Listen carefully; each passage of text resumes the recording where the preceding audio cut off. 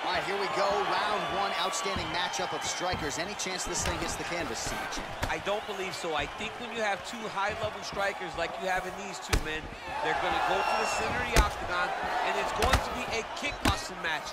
A kickboxing match that you would see in a ring. Tonight you get to watch it inside of an octagon.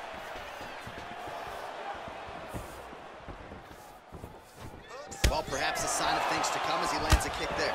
Nice kick landed by this gentleman. Great punch landed with so much power.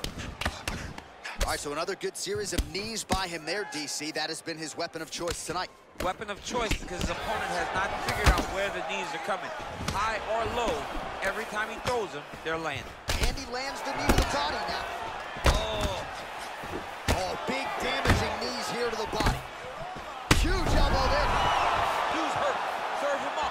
Get him.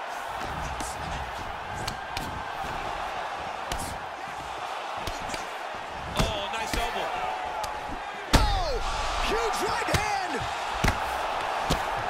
Oh, big combination of ground and pound strikes here, DC. This could be the beginning of the end. I mean, you gotta be very careful when you take these big ground and pound You need a controlled posture on the bottom, and if you're the top guy, the guy that's looking to finish, continue to gain posture and rain down big strikes on your opponent. Good, solid strike on the ground. All right, side control now.